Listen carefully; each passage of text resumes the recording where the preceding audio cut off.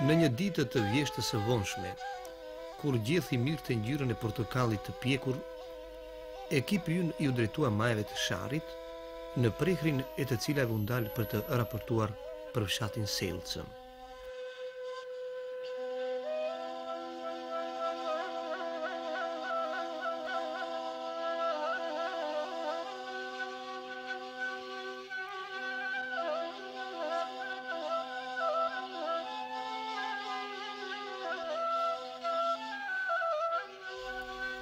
Është ky fshat i vjetër nja shtatëqind vjet.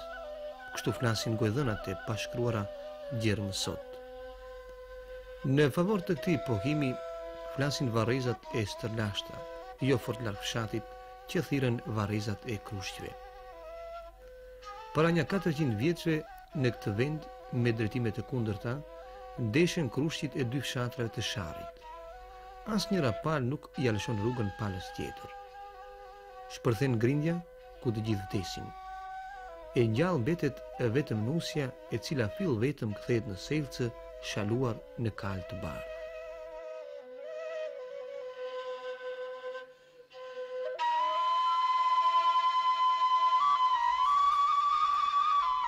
Selca gjendet në vargun e fshatrave të Sharrit, që vargohen në dy krahët e lumit Pena. Selca, fshat ky me nja 275 shtëpi dhe 2034 banorë, gjendet nën majat e thikta të Sharrit, Zhlep, Orlovc, Kalash, Puktin dhe Rokopiç. Reporteri i këtij emisioni me kënaqësi shënoi se në këtë fshat malor, ku më parë 50% të banorëve për shkaqe ekzistence kanë qenë të detyruar ta lëshojnë fshatin për krodhën e bukës, tani 80% e shtëpive janë të reja, duke imituar stilet dhe arkitekturën më moderne bashkëkohëse. Fshati Selcë, edhe pse i katrithur në shullajë si diellit, tani gëzon transformim të jashtëzakonshëm në të gjitha lëmit e jetës. Në një pronë të gjerë prej 1550 hektarve, kryesisht zhvillohen blektoria në një anë që dita-ditës gëzon kushte më të favorshme dhe në anën tjetër hasim rrugë të shumta për begatimin e fshatit. Dikur nën këmbët e gurit të kuq ku gjendet fshati, është dëgjuar vetëm fyelli arkaik i barive të varfër dhe i druvarve që kanë luftuar për ekzistencë të thatë. Tani në të njëjtin fshat, muaj për muaj, përveç të të ardhurave nga blektoria, bujqësia e të tjera, hyjnë një miliard dinarë të vjetër. Fshatin e pasurojnë në të ardhurat e 32 punëtorëve në botën e jashtme, 36 punëtorëve të inkuadruar në trevën e Tetovës dhe 400 punëtorëve sezonalë që punojnë në Beograd 8 deri më 9 muaj në vit.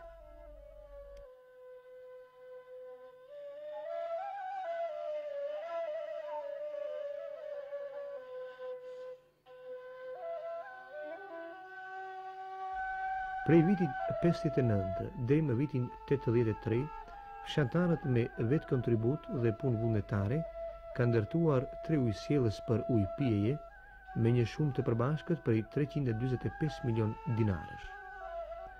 Për rrugën që do ta lidh fshatin me qytetin me një gjatësi prej 5 kilometrash, Fshatarët gjithashtu kanë dhënë vetëkontribut në një shumë prej 167 milion dinarësh. Rruga pritet të lëshohet në përdorim vitin e ardhshëm dhe do të jetë e gjerë 7 metra duke e lidhur fshatin me qytetin me autobusin urban.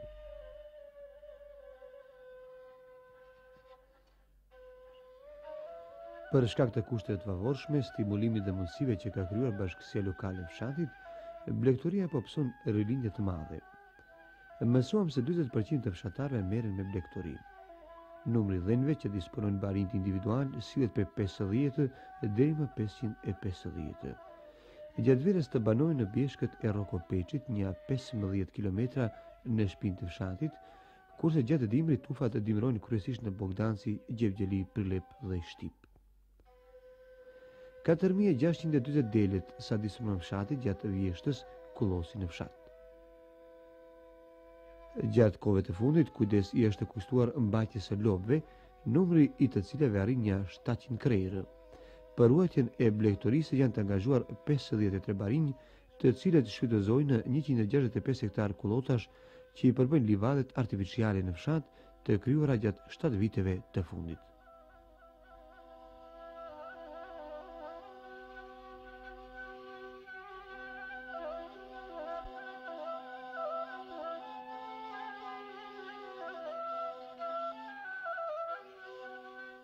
këtë vit Jemi duke ndërtuar parkun përkujtimor të shokut Tito, për të cilin park është angazhuar rinia edhe tanë organizatat tjera masovo-politike në bashkësi me bashkësinë lokale.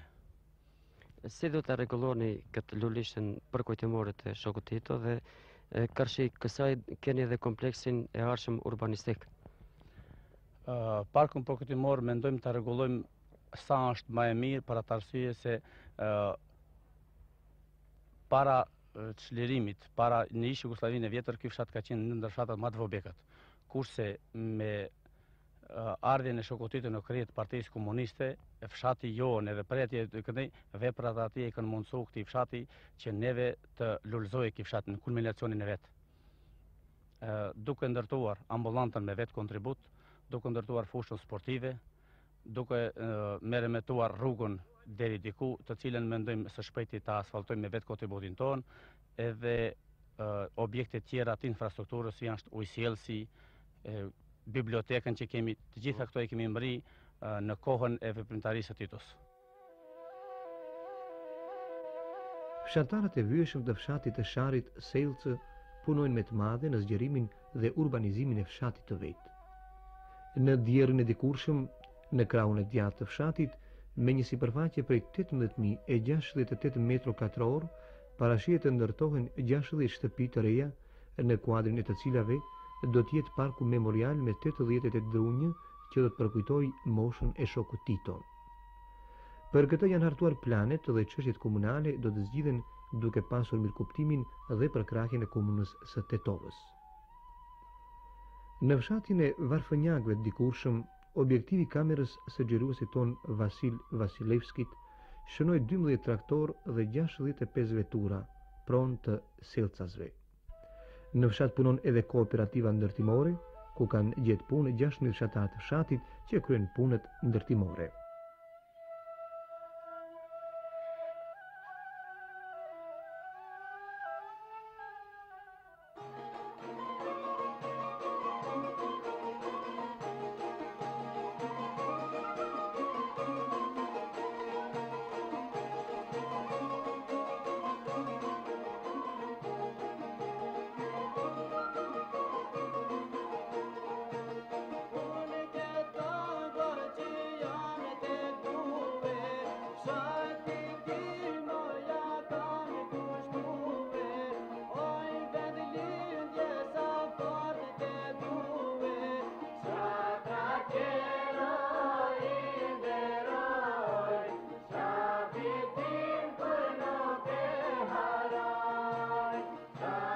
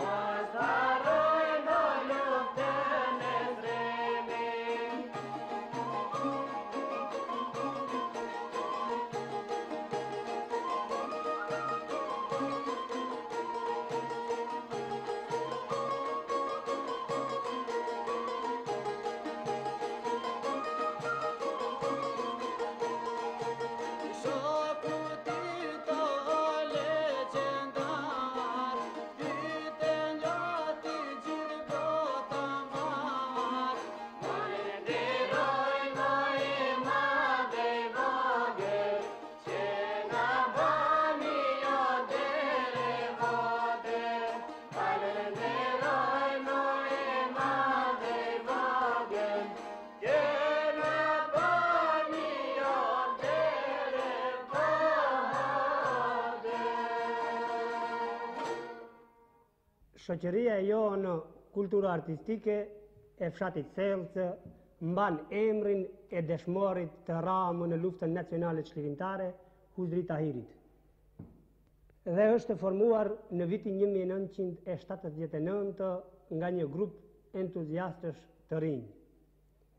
Prej formimit e këndej Në kuadër të kësaj shoqërie janë duke punuar seksione dhe grupe të ndryshme muzikore.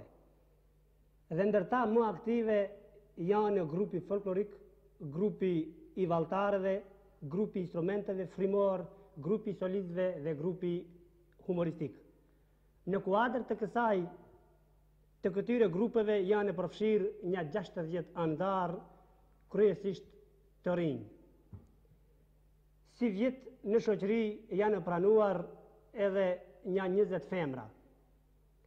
Në saje të punës që kemi treguar, gjer më tani mund të thuhet se jemi njëra ndër shoqëritë më aktive në komunën e Tetovës. Për çdo vit Kemi çfaqur nga dhjetë koncerte, rregullisht kemi marrë pjesë në garat, revistat dhe festivalet folklorike në solemnitete të ndryshme, kurse rezultate të shënuara kemi arritur në vitin e kaluar në festivalin e nëntë të këngëve dhe valleve popullore në Prilep, si dhe këtë vit në festivalin e 13 të ditëve të Ilindenit që është mbajtur në Manastir. Gjithë këtë që e përmenda e dëshmojnë 19 diplomat, dy mirënjohje dhe një plaketë e bronztë, një plaketë e argjendtë dhe shumë libra e dhurata tjera.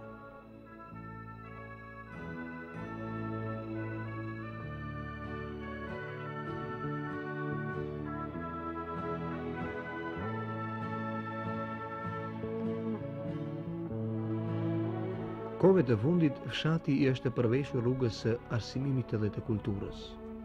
Në dy ndërtesat shkollore të fshatit me orendi dhe kubaturë të përshtatshme, të cilat janë ndërtuar më 1954, dhe 1973, 532 nxënësit e fshatit, prej paraleles së parë deri në të tetën, mësimet i vazhdojnë në dy turne. Pritet se pas ndërtimit të rrugëve të reja, numri i nxënësve në shkolla të mesme dhe i studentëve do të rritet dukshëm, sepse në ritmin e ngadalshëm të shkollimit deri më tash pak a shumë kanë ndikuar kushtet. Me kënaqësi, kamera e xhiruesit tonë shënoi dy mësueset e para të këtij fshati, Ajshen dhe Sherizaden, të cilat së bashku me 15 arsimtarët e tjerë, po prej këtij fshati, ushtrojnë profesionin e arsimtarëve në shkollë.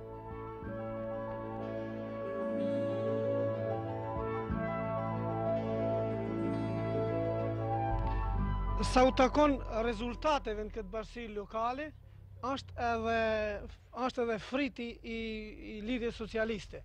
Ne deri te vendimet vim shumë lehtë, për shkak se fshatarët janë të vetëdijshëm, atë që e bëjnë e bëjnë për vete.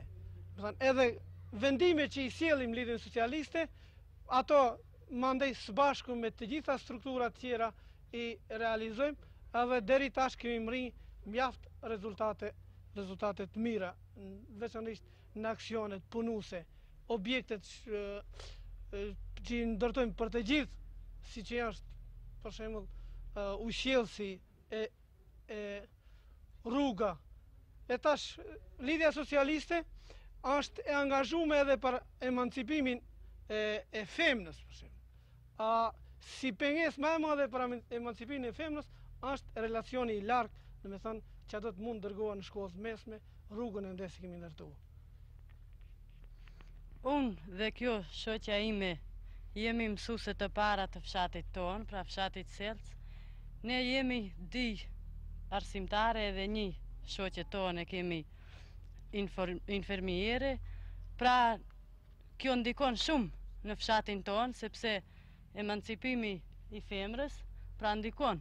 Mirëpo, pengesa më e madhe pra për emancipimin e femrës në fshatin Selc, është më tepër rruga, sepse rrugën nuk e kemi të ndërtuar, pra edhe kjo është pengesa më e madhe për emancipimin e femrës.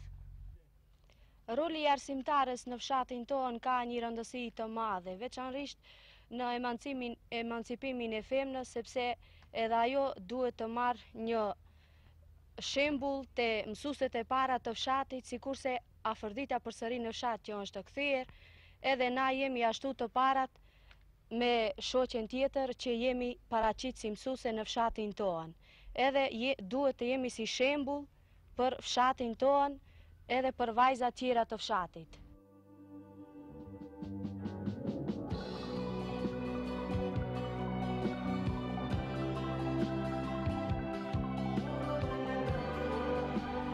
Fshatarët e Selcës për të ndihmuar zhvillimin e kulturës fizike dhe për t'i edukuar të rinjtë Në këtë drejtim pranë fshatit, në një sipërfaqe katërkëndëshe prej 60 me 40 metro, kanë ndërtuar fushën e topit, në të cilën nuk ushtrojnë vetëm nxënësit dhe studentët e fshatit, por tri herë në vit, ditën e një majit, 25 majit dhe 11 tetorit, organizohen garat e 14 fshatrave.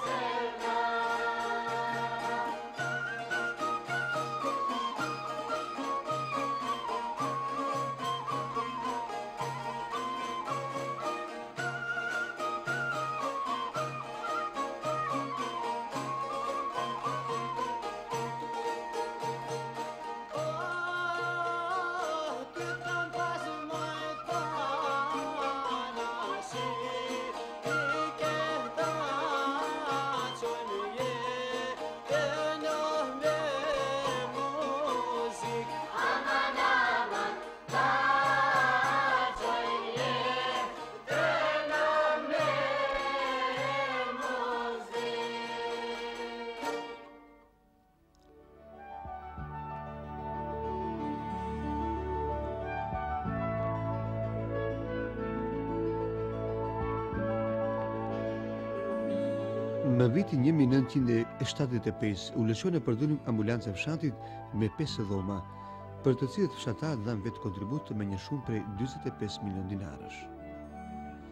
Gjithkah në fshat ndihet një entuziazëm. Dëshirë për ta ngritur fshatin dhe për ta bërë më të mirë.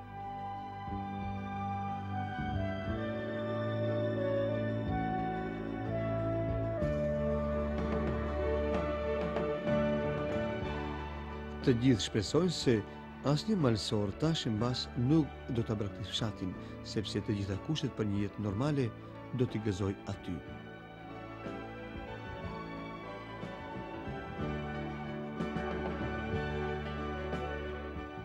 Në ambulancë kryhen të gjitha shërbimet kurative si dhe preventiva. Kuptohet kur flasi për preventivën, ashtë fjala për në raste epidemike Kur paraqitet ndonjë sëmundje ngjitëse, si bien fjala fruthi ose morbili, aty vjen në shprehje ndihma e madhe, domethënë ndihma preventive, kurse ajo kurative qëndron në ndihmën e barnave për shërimin e pacientëve.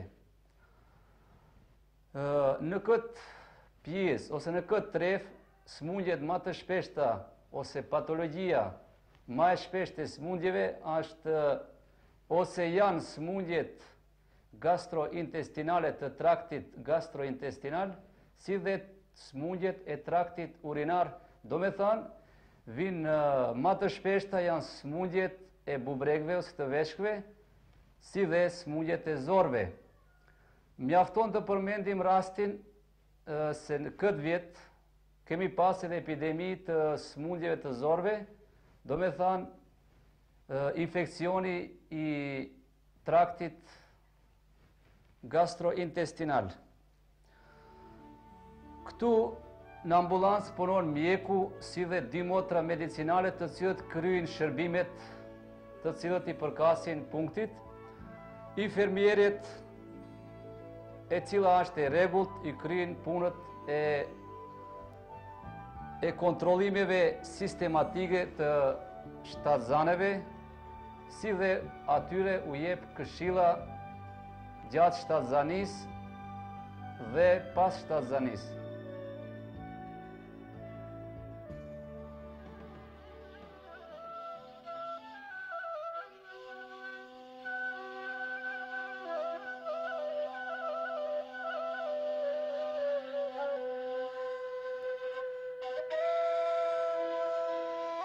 Atë botë, kur ekipi u lëshoi fshatin, kurora e bjeshkëve të Sharrit ishte e zbardhuar prej mikeshës së hershme që i viziton këto anë, borës së dimrit dhe tufëve që zbritnin për të vazhduar jetën në vërri.